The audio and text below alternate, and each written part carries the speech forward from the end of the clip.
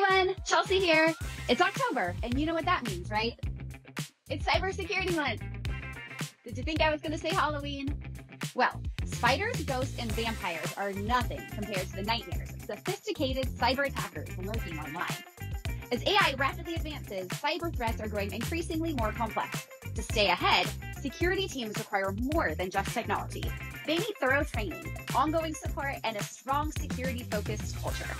That's why I'm happy to share that Microsoft is hosting an event on October 30th that will explore insights from Microsoft's Digital Defense Report, discuss cybersecurity best practices using AI, and practical strategies for improving security against sophisticated AI enhanced threats. This event will be grounded in real life customer stories and provide actionable tips to detect and defend against sophisticated attacks. I'm super excited about this event and I invite you to join us there. Check out the link in my post to learn more and to register.